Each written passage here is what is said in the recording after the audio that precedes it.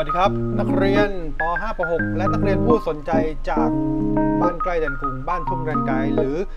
นอกประเทศไทยของเรานี่มีการเพิ่มนอกประเทศไทยของเราขึ้นมาแล้วด้วยเฉียบขึ้นครับเฉียบก็ระดับโลกเลยนะครับตอนนี้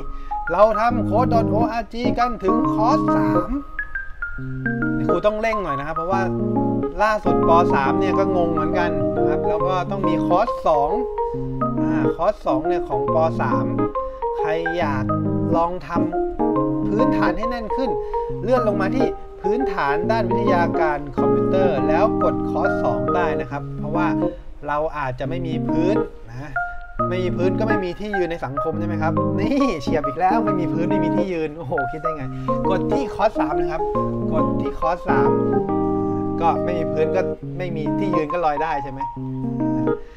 กดตรงนี้ครับเหมือนเดิมแม่เราครูผมทำเร็วกว่าครูอีก ผมทำไปถึงด่านที่ 8 แล้วอ่าอย่างนี้ต้องเชิญมาเป็นวิทยากรวิทยากรรมมาสอนเพื่อนแล้วนะครับ ตอนนี้เราไปถึงฉากที่ 13 ไปกันเลยจ้า ฉากนี้เขาบอกว่าเอาแล้วเป็นคำถามปรนัยครับ เปลี่ยนอารมณ์ เปลี่ยนรูปแบบให้นักเรียนทั่วโลกนั้นเกิดความเร้าใจเขาบอกบล็อกใดวาดสี่เหลี่ยมผืนผ้า ที่มีเส้นรอบรูปเท่ากับร้อยเอาอีกแล้วคณิตศาสตร์อีกแล้ว เปลี่ยนให้ครูเลขมาสอนดีไหมเนี่ยแม่มันคณิตศาสตร์เยอะจริง ๆ ครับ เส้นรอบรูปของสี่เหลี่ยมผืนผ้าหายังไง ถามใครเนี่ย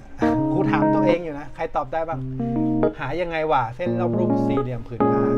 กว้างคูณอะไรครับอบอกแล้วครับ ด้านยาวคือด้านที่มันยาว อีกด้านหนึ่งก็คือด้านกว้าง จบด้านไหนยาวกว่าเรียกด้านยาว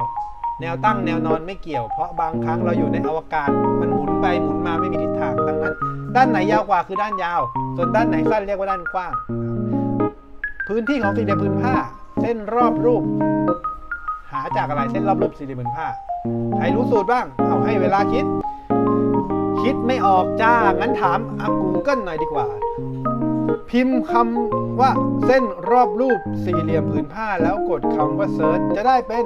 ความยาวรอบรูปสี่เหลี่ยมผืนผ้า หรือเส้นรอบรูปนั่นแหละ คือ กว้างบวกยาวแล้วไปคูณ2อ่าเมื่อกี้ครูบอกกว้างคูณยาวนั่นคือหาพื้นที่นะครับ ไม่ใช่นะ กว้างบวกยาวก่อนแล้วไปคูณ2ทำไมถึงกว้างบวกยาวคูณ 2 ก็คือกว้างบวกกว้างยาวบวกยาวนั่นเอง ถ้าเกิดแจกคูณ 2 เข้าไปในวงเล็บ นั่นหมายความว่ามันมีด้านกว้าง 2 ด้านด้านยาว 2 ด้านเอาบวกกันคอมโบคอมจอยกลายเป็น2คูณกว้างบวกยาวได้พื้นที่สี่เหลี่ยมพื้นผ้านั่นเอง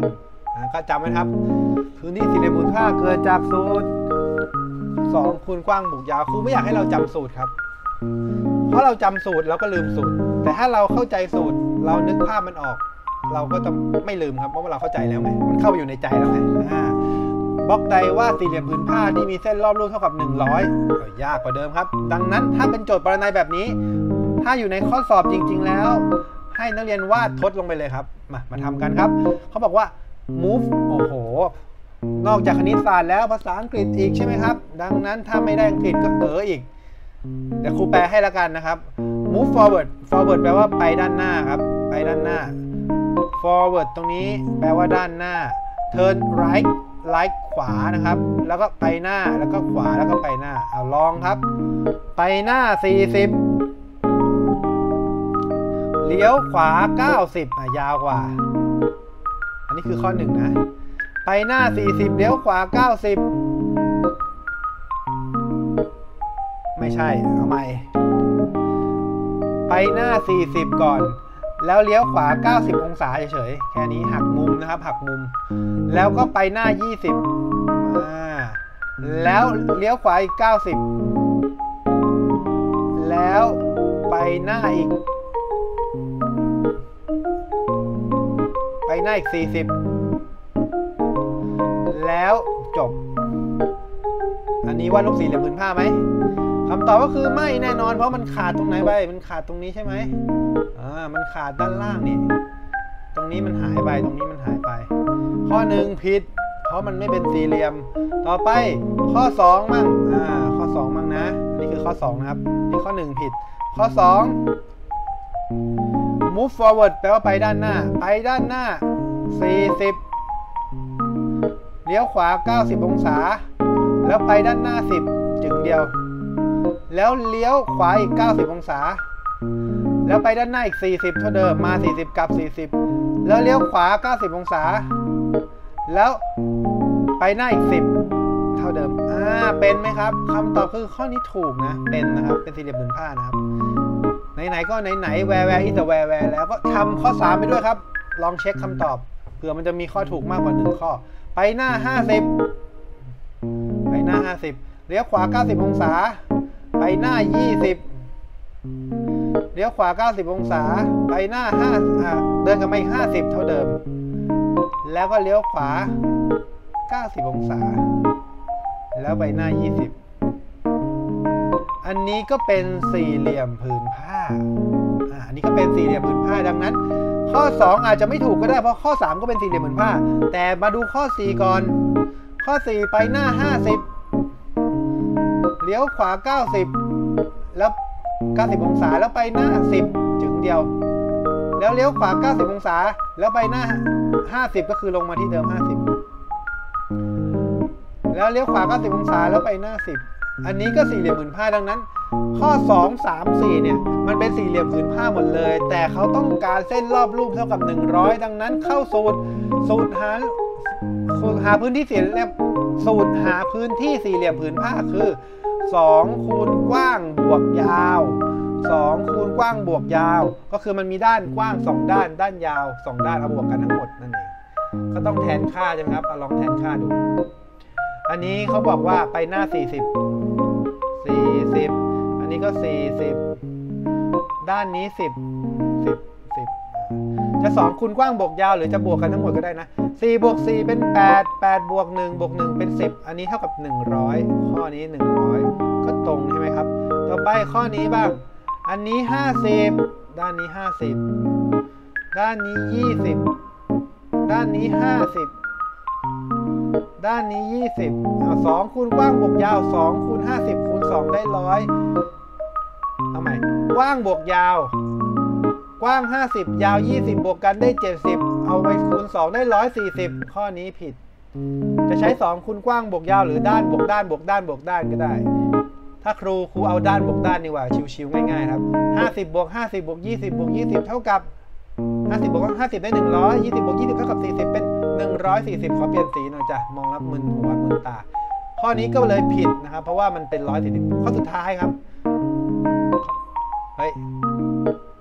เดี๋ยว ผิดนะ แต่อันนี้ถูกแล้ว อันนี้ถูกแล้ว อันนี้ถูกแล้วนะครับ ภาพนี้คือรูปนี้นะ ส่วนภาพนี้คือรูปนี้นะครับ ไอ้ไอรูปนี้ไม่ต้องคิดนะครับเพราะมันไม่มีเส้นล่างนะครับ ต่อไป อันนี้ครับ ขึ้นไป 50เลี้ยวขวา 90 แล้วก็ตรงนี้ 10 อ่า แล้วตรงนี้ 50 แล้วตรงนี้ 10 เหมือนเดิมครับ ด้านบวกกัน 10บวก10 เป็น 20 50บวก50 เป็น 100 เท่ากับ 100บวก20 เป็น 120 ข้อนี้ก็เลยผิดนั่นเองจ้า ดังนั้นข้อที่ถูกก็คือ ข้อ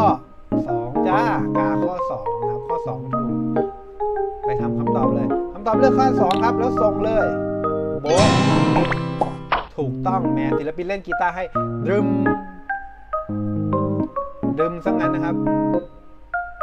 เอาข้อเดียวแล้วกัน เปล่าเปลี่ยวหัวใจอะอีกข้อแล้วกันไหนๆก็ไหนๆเอาให้มันถึงข้อ 15 ไปเลยเพราะว่าอันนี้มันไม่ค่อยยากนะครับ เป็นเรื่องของความเข้าใจ เขาถามว่าข้อใดเป็นแบบสมมาตรเอาอีกแล้วสมมาตรแปลว่าอะไรเปิดหนังสือคณิตศาสตร์ดู สมมาตรแปลว่า สมมาตรแปลว่า Google เลยแล้วกัน สมมาตรคือ สมมาตรหมายถึงได้สัดส่วนสมดุล หรือว่าง่ายคือ มันมีความคล้ายคลึงในตัวเอง ภาษาอังกฤษเรียกว่า symmetric อ่า symmetric หรือถ้าไม่สมมาตรไม่ไม่คล้ายคลึงไม่สมดุลกันสองด้าน เอาอะไปใส่ asymmetric แปลว่าไม่สมมาตรว่าง่ายคือ ถ้าเกิดคนเราด้านซ้ายของร่างกายกับด้านขวาของร่างกาย เหมือนกันหมดเรียกว่าสมมาตรก็ไม่น่าเชื่อนะครับว่าธรรมชาติสร้างคนให้สมมาตร แต่ไม่ทุกคนนะ แต่ส่วนมากคนเราจะสมมาตร มีตาสองข้างลองดูคนครับ ลองดูความสมมาตรของมนุษย์อ่า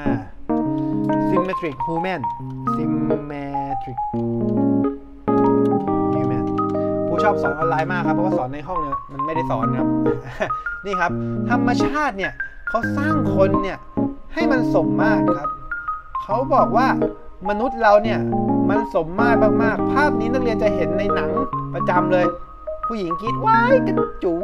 กระจูนะครับ ไม่ใช่คำหยาบนะครับ เป็นภาพศิลปะ อันนี้เป็นภาพของดาวินชี เป็นภาพที่โด่งดังระดับโลกครับ เมื่อก่อนสมัยยุคเลเนซองส์ยุคดาวินชีเนี่ยเขานิยมวาดภาพมนุษย์ที่เหมือนจริงมาก ๆ โดยการไปวาดคนตายเลยนะครับ คือเอาศพมาวาด คือวาดจากของจริงเลย ก็นั่งวาดศพกันแบบนั้นในยุคหนึ่งนะ ยุคกลางของยุโรปนะครับ ก็ เห็นไหมครับว่าคนเราสมมาตรถ้าเรากางแขนออกกางขวากางขาออกกางแขนออก แล้วหมุนรอบตัว3ามร้อยสามร้อยสิบองศาเนี่ยแขนขาเราสี่ด้านเนี่ยจะขีดเป็นวงกลมครับ และในวงกลมก็ซ้อนเป็นด้วยรูปสี่เหลี่ยมอีกทีด้วย เรียกว่าเขาเรียกว่าอะไรอะสมดุลของ Golden Triangle เออสี่เหลี่ยมทองคำนะครับเป็นสี่เหลี่ยมทองคำใครดูเรื่องโจโจ้จะเข้าใจ ใครไม่เข้าใจก็ไปดูซะนะครับโจโจ้ล่าข้ามศตวรรษ คนเราเนี่ยมันสมดุลครับ สมดุลยังไงซิมเมติกสมมาตรยังไง ก็อุ๊ยโทษกดผิดแม่เพลงก็ดับ เอ้าไม่เป็นไรครับ กดผิดก็กดใหม่ เพลงขึ้นหลังกลับมา โค้ดดโอจีกลับมา แม่มือลั่นครับมือลั่น อ่า เรียนเรื่องบั๊กไปแล้วใช่ไหมครับ โค้ดโอจี มือพี่ลั่นไปเองครับ พี่แจ๊ส 4G นะครับเข้าสู่ระบบเราก็อาจจะเกิดเหตุแบบครูได้ก็ไม่ต้องตกใจครับ เข้าสู่ระบบ เพราะเราสร้างบัญชีแล้วดังนั้นงานเราไม่หายครับ มันจะหายเฉพาะอันล่าสุดอันก่อนหน้าไม่หาย ดังนั้นถึงแม้จะเกิดความสูญเสีย ก็เป็นความสูญเสียที่เบาครับ รับได้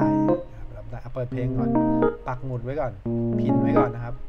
เอาไม้ครับเอาไม้ ศิลปินด่านที่ 14 ดังนั้นสมมาตรคือการเท่ากัน 2 ด้านไว้ง่าย เรามีตาสองข้างมีปากหนึ่งอันที่แบ่งซ้ายขวาเท่ากัน มีจมูก2รูมีหูสองข้างมีคิ้ว 2 อัน ทุกอย่างมีเท่ากันหมดเลย นิ้ว 5 นิ้วซ้าย 5 นิ้วขวา มีขาซ้ายขาขวา แม้กระทั่งไข่ของเรายังมีสองฟองเลยครับ เห็นไหมครับว่ามันสมมาตรกันนั่นเอง ต่อไปข้อไหนเป็นรูปสมมาตร ดังนั้นสมมาตรก็คือเท่ากันสองข้าง รูปนี้ไม่เท่ากันครับ เพราะไอ้นี่มีมีบ้องเดียวอันนี้มี 2 บ้อง แม่พูดคำว่าบ้อง เพราะวันที่ 24 กุมภาเมื่อวานที่ผ่านมา ถือเป็นวันประวัติศาสตร์ผ่านมาตอนนี้ก็บ่ายหนึ่งครึ่งก็คือ 13 ชั่วโมงจากเที่ยงคืนนะครับ ก็คือ ตอนนี้เฉลิมฉลองกันหน่อยครับสำหรับสายเขียวทุกคนพูดได้นะครับ ไม่ผิดกฎหมายแล้วนะ เพราะว่าวันนี้เป็นวันที่อยู่ไหนนะอะไม่ได้เซฟไว้ วันนี้ปลดล็อกปลดล็อกอ่าปลดล็อกอะไรปลดล็อกพืชที่เคยเป็นยาเสพติดเมื่อก่อนใครถือไอ้สิ่งนี้ปลูกสิ่งนี้ตำรวจจับนะครับปลดล็อก กระท่อมครับ วันนี้กระท่อมถูกกฎหมายแล้ว รู้จักกระท่อมไหมครูเจนเคยสอนว่าผิดใช่ไหมครับ ในตำราเรียนเคยบอกว่าผิดฉีกตำราทิ้งครับ เพราะว่าตอนนี้มันถูกกฎหมายแล้วจ้า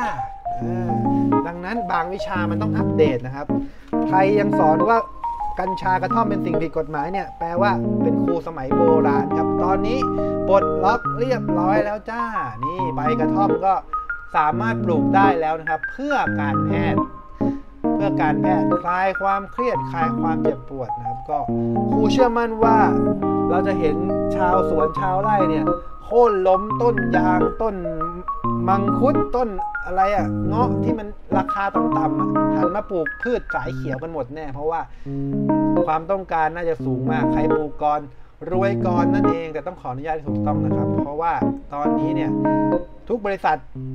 ต้องการใบพวกนี้เนี่ยมาทำยาหมดเลยนะครับยิ่งยุคนี้คนเครียดเยอะโควิดต่างๆนานาใช้แล้วผ่อนคลายครับยิ้มกันยิ้มกันทั้งวันนะครับ ดังนั้น เข้าเรื่องกระท่อมไปได้ยังไงเนี่ย อ่า สมมาตรไม่สมมาตรนะครับ เพราะขาดไปหนึ่งงานข้อหนึ่งผิด ข้อหนึ่งผิด ข้อสองก็ไม่สมมาตรครับ เพราะว่าไอ้ตรงนี้มันหายไปมันแหว่ง มันแหว่ง ถ้าใส่ก็สมมาตรผิด symmetric นะครับ symmetric แปลว่าสมมาตรนะจำไว้นะ balance แปลว่าสมดุลนะครับสมมาตรคือเกี่ยวกับรูปร่างส่วนสมดุลหมายถึงเกี่ยวกับความเท่าเทียมนะ อันนี้สมมาตรไหม สมมาตรนะครับ เพราะว่าเท่ากันสองด้านนะวาดไม่เท่านี้มันเท่ากันนะเห็นไหมในสี่เหลี่ยมใหญ่ แบ่งเป็นสี่เหลี่ยมเล็กได้แบบนี้ แล้วก็แบ่งเป็นสี่เหลี่ยมย่อยได้อีก นี่ครับสมมาตรนะครับ คอมพิวเตอร์ส่วนมากมันจะออกแบบให้สมมาตร ซึ่งมันง่ายกว่าไม่สมมาตรนะ ไม่เหมือนการวาดด้วยมือวาดให้สมมาตรมันยาก ธรรมชาติออกแบบให้ แม้แต่มือเรายังไม่เท่าเทียมเลยครับ จะไปเรียกร้องความเท่าเทียมอะไรจากสังคมครับ ธรรมชาติมันน้อยทุกอย่างมีความหลากหลายอยู่แล้วนะดังนั้น เราต้องอยู่ด้านบนสิครับ เราต้องอยู่ด้านบนเหนือกว่าสิ่งมีชีวิตอื่น อย่าไปรอความสมมาตรเลยครับ มันไม่มีจริงหรอกครับสำหรับครูนะ เพราะว่ามันเป็นแค่อุดมคติเท่านั้นเอง ตั้งใจเรียนดีกว่าครับ ถ้าทุกคนฉลาดเท่ากันสมมาตรกันเนี่ย มันจะมีโรงเรียน มันจะมีอันดับชั้นมีเกรดเฉลี่ยไว้ทำไมใช่ไหมครับ เพราะฉะนั้นมันไม่สมมาตรหรอกครับ เราควรจะตั้งใจให้อยู่ด้านบนของพีระมิดมากกว่าพีระมิดความรู้พีระมิดของชีวิต อันนี้ไม่สมมาตรเพราะว่าอันนี้เล็กกว่าอันนี้ครับ อันนี้ใหญ่กว่าคำตอบที่ถูกต้องคือข้อ 2 อ่า ตอบเลยครับ ไป โชแล้วกดส่งบึ้งผ่านแล้วครับ เหลือเวลาอีก 14 นาที น่าใช้ไม่ถึงนะครูก็จบเร็วก็ได้ไปตัดคลิปนะครับ เพราะว่ามีอีกหลายโอ้โหจะบอกว่าอีกจะเป็นร้อยคลิปก็ว่าได้นะ ถ้าเกิดรวมคลิปเสริมด้วยนะครับ ครูบางท่านนำคลิปเดียวจบนะ10 นาที 6 นาทีของครูเนี่ยคลิปเสริมปอปลายและคลิปเสริมปอต้น และคลิปประจำอีก 4 ช่วงชั้น รวมๆครูทำเกินร้อยคลิปแล้วครับ ตอนนี้ แต่ก็ทำไปเรื่อยๆนะครับสะสมไป อันนี้ข้อ 15 เขาบอกว่าวาดโดยอิสระ ให้วาดอะไรก็ได้ที่มีแรงบันดาลใจ อ้าว อย่างนี้ข้อนี้ก็แล้วแต่เราครับ up to you งั้นครูขอวาดภาพว่างเปล่าแล้วกันจบ ผ่านเลยไหมเอาผ่านเลยด้วย เอาเกียน วาดภาพว่างเปล่าคือ less is more ครับ น้อยคือมาก ไม่มีคือมี ภาพอากาศว่างเปล่า แต่อย่างนี้อย่าเอานะ ห้ามซ้ำครูนะครับ ครูเกียนไปแล้วนะครับ เราต้องวาดภาพไปสักวันหนึ่งครู งั้นหนูวาดภาพเส้นตรง ก็ได้ครับ แต่เกียนไปหน่อยไหม นี้ก็ได้ แรงบันดาลใจอินสปิเรชันเป็นแรงขับดันให้เรามีชีวิตอยู่ต่อครับ อย่างครูบางคนเช่นครูเคยถามว่าแรงบันดาลใจในการใช้ชีวิตของครูเจนคืออะไรครูเจนบอก ต้องรวยก่อนให้ได้ แรงบันดาลใจในการใช้ชีวิตของครูฤทธิ์คืออะไรครูฤทธิ์แรงบันดาลใจเหมือนกันครับต้องรวยก่อนให้ได้ แรงบันดาลใจของพอพินิษคืออะไรพอพินิษบอกว่า ต้องกลับบ้านไปสร้างกระท่อมต้นไม้บนในในป่าให้ได้ ตอนนี้ก็ทำเสร็จแล้วนะพอพินิษของเราไปสร้างบ้านบนต้นไม้นะครับ เป็นแรงบันดาลใจของครูก็แรงบันดาลใจก็ อยากจะอยู่บนตึกสูงๆในกรุงเทพให้ได้นะก็ต้องตั้งใจทำงานเพื่อเก็บตังค์ใช่ไหมครับนี่ก็แรงบันดาลใจของแต่ละคน แล้วของเราล่ะคืออะไร ถ้าเราเจอแล้ววาดภาพมาครับ ดังนั้นแรงบันดาลใจของครูก็คือครูอยากไปประเทศญี่ปุ่นครูขอวาดธงญี่ปุ่นแล้วกันวาดยังไงเนี่ยธงญี่ปุ่นก็ต้องเป็นสี่เหลี่ยมใช่ไหมครับ ไปดูธงชาติญี่ปุ่นกันก่อน อันนี้เป็นข้อฟรีสไตล์นะครูชอบคำถามนี้มากนะครับ ให้นักเรียนสร้างอะไรก็ได้ที่อยากสร้างไม่บังคับกัน ดังนั้นจะเห็นความหลากหลายมากครับ แต่อย่าเกียนมาสร้างสร้างภาพว่างเปล่าแบบครูนะธงชาติญี่ปุ่น ก็ถือว่าเป็นธงชาติที่วาดง่าย เป็นกลมๆ สีแดงอยู่ข้างในธงสีขาว ดังนั้นถ้าเราจะวาดภาพนี้ เราก็ต้องวาดกรอบสี่เหลี่ยมผืนผ้าขึ้นมาก่อน แล้วยกปากกาเข้าไปหาจุดข้างในแล้ววงกลม 360 องศา พูดง่ายครับ แต่เขียนโปรแกรมไม่ง่ายนะครับแล้วดูซิว่าทำยังไงครับ เอาตอนนี้กดหยุดเพื่อเราสร้างงานของตัวเองนะครับ แล้วมาดูกันหลังจากนี้จ้ากดหยุดเลย อ่าครูได้แล้วครับครูได้งานครูแล้วครูอยากจะวาดรูปธงชาติญี่ปุ่นนะ แต่ว่ามันไม่มีคำสั่งยกปากกามาให้ จริง ๆ ก็ใช้คำสั่งของการตั้งค่าสีเป็นสีขาวก็ได้ ก็คือเราไม่ต้องยกปากกาแต่เราขีดด้วยสีขาวแทนเนกออกไหมครับ ถ้าเรายกปากกาคือเราไม่ขีด แล้วข้ามมาตำแหน่งถัดไป แต่ถ้าเราขีดสีขาวก็มองไม่เห็นอยู่ดีเพราะพื้นหลังสีขาว แต่ครูเอาง่ายๆแล้วกัน เริ่มจะเกียนแล้วครับ ครูวาดธงชาติประเทศซอมบี้แล้วกัน นะ เริ่มต้นไปข้างหน้า 50 ไปข้างหน้า 50 หันขวา 90 จะได้แบบนี้ ไปข้างหน้า 50 หันขวา 90อ่าแล้วก็ไปข้างหน้าอีก 150 แล้วหันขวา 90 จะได้แบบนี้ปึ๊บปึ๊บอ่าเริ่มเป็นธงใช่ไหมครับ แล้วก็ไปข้างหน้าอีก 150 2 ครั้งเลยทำไมถึง 2 ครั้ง เพราะว่ามันจะต้องความยาวเป็น 2 เท่า เพราะนี่คือจุดกึ่งกลางของธงใช่ไหมครับ เราต้องเดินมาตรงนี้ เดินมาตรงนี้เสร็จแล้วเดินต่อไปอีกครึ่งหนึ่งโบะเข้าให้บะเข้าให้แล้วหันขวารอครับ แล้วขึ้นไปอีก 150 แล้วเดินหันขวาแล้วหันกลับมาอีก 150 จะได้เป็นรูปสี่เหลี่ยมผืนผ้าที่เราจะทำเป็นธงชาตินั่นเองเอาลองดูอันนี้เขียนไว้แล้วนะปึ๊บปึ๊บไปครับอ่าแล้วก็สมมุติว่าจะหันขวาอีก 90 แล้วเดินมาอีกครึ่งหนึ่งของ 150 ก็คือ 75 เพราะเราจะเดินมาแค่ครึ่งรูปนะครับ เดินไปแค่ 75 แต่ถ้าเดินอย่างนี้จะเห็นเส้นขีดลงมาไปดู เดินมาเดินมาเดินมา มันจะเห็นเส้นขีดดังนั้น เราไม่อยากให้เห็นเส้นขีด เราเปลี่ยนสีปากกาครับ เปลี่ยนเป็นสีขาวเลยให้มันมองไม่เห็น ไป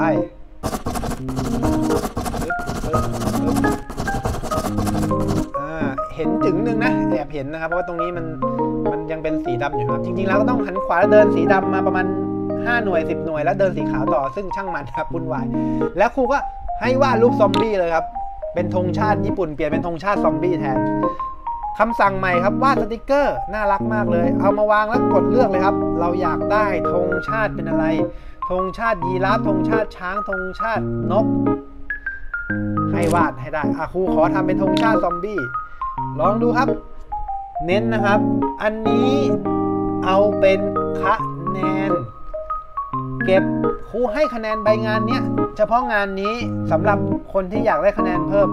ทำมาครูให้งานนี้ 10 คะแนนเต็มสำหรับคนที่วาดได้สวย อย่าเอากากแบบครูนะ ลองดูว่าภาพแบบไหนครูชอบโจทย์ข้อนี้มากครับ ถือว่าเป็นโจทย์ 5 ดาวในใจครูเลยเพราะว่ามันให้อิสระกับนักเรียน สามารถดูได้ว่าเรามีแรงบันดาลใจในการทำอะไร แต่ถ้าเกิดทำกากกากส่งส่งมาครูก็ให้คะแนนกากกากกลับนะครับ บอกก่อนนะ กากมากากกลับไม่โกงนะครับ ไม่โกงรอเรือด้วยนะไม่โกงครับเอาลองดูครับว่าจะได้ผลลัพธ์ยังไงทำเป็นธงชาติแล้วเดินสีขาวมองให้เห็นมาอยู่ตรงกลางรูปแล้ววาดรูปซอมบี้จัดไปช้าๆครับ หันขวา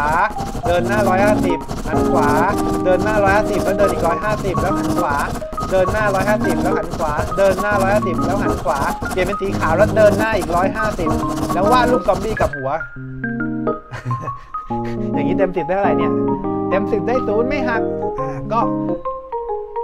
ใครทำมาก็ให้หมดนะครับ ขอให้ทำแล้วกันนะครับ ข้อนี้นะข้อนี้แต่ว่ายังไม่ต้องรีบส่งนะครับ เดี๋ยวครูให้นักเรียนอัดอัดคลิปหรือแคปเจอร์หน้าจอส่งแล้วกันทำธงชาติของอะไรก็ได้จะซอมบี้แบบครูก็ได้นะครับ อันนี้ตัวศิลปินอะเขาหันลงดังนั้นซอมบี้มันก็เลยหันลงนะครับ ถ้าเกิดเราอยากให้ซอมบี้หันหน้าขึ้น เราก็เลือกให้เขาหันกลับแล้วก็เขียนนะครับ แต่จริงๆแล้วเนี่ยซอมบี้จะทะลุขอบบนใช่ไหมดังนั้นต้องมาอยู่แค่ตรงนี้แล้วเขียนจะได้พอดี หรือมาอยู่ข้างล่างแล้วเขียนขึ้นจะได้พอดีนะครับ